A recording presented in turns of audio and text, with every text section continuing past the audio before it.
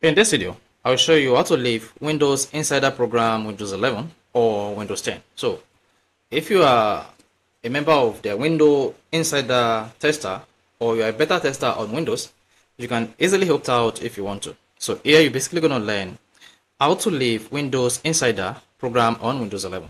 So if I don't know this video, if you found this video informative, please don't forget to like and subscribe.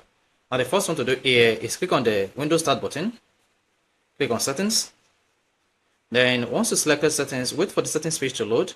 On the settings page, locate the left pane like this and click on Windows Update. Then once you select Windows Update, on your Windows Update page, locate Windows Insider Program and click on that. Now, once you click on the Windows Insider Program on your Windows 11, scroll down. Under Related Support, click on Leave the Insider Program.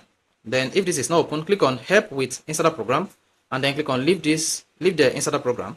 Once you click on that this is going to open a browser on your windows computer and hang on for this page to load.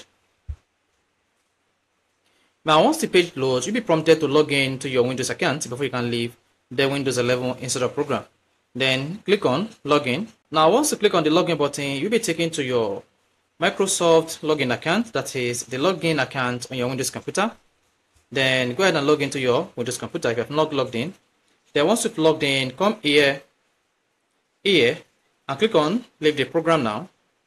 Then once you click on leave the program now, just hang on, then you should see, we are sorry to see you go. Then you have successfully left the Windows Insider program on your Windows 11.